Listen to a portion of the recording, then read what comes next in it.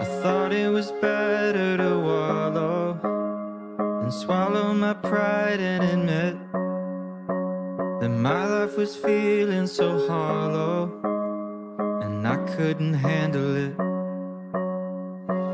So I called a couple of friends and a caring specialist.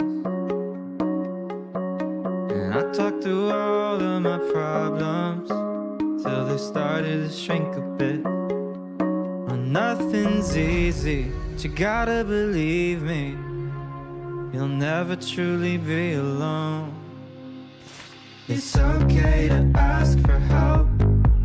Don't need to fix it all by yourself. It's okay to find a friend to lean on and talk it out.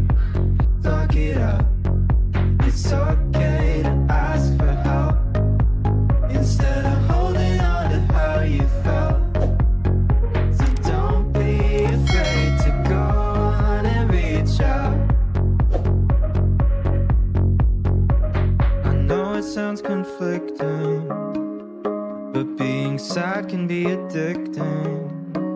Even when it's awful, still easier.